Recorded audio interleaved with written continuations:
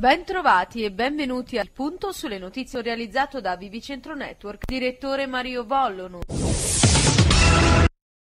Nella giornata di venerdì 30 aprile 2021, in Milano e Torino, i carabinieri della compagnia di Sesto San Giovanni hanno tratto in arresto due maggiorenni stranieri, originari del Marocco, classe 1997-1983, dando esecuzione all'ordine di custodia cautelare in carcere, emesso dal GIP di Monza, in quanto entrambi responsabili di due furti con strappo nei confronti di anziani, in particolare, i militari della stazione di Sesto San Giovanni, coordinati dalla Procura della Repubblica di Monza, hanno avviato le indagini a seguito di due furti con strappo, avvenuti in quel comune nelle date del 28 agosto e 1 settembre 2020. Allora quando gli investigatori, ricevute le denunce dei due distinti reati, ne appuravano una chiara convergenza sia per le descrizioni degli autori che per le dinamiche. Infatti, entrambe le vittime, che a distanza di breve tempo sono state colpite dai due stranieri, erano donne anziane ottantenni di rientro presso la propria abitazione in orari mattutini, dopo aver fatto le spese mattutine in centro.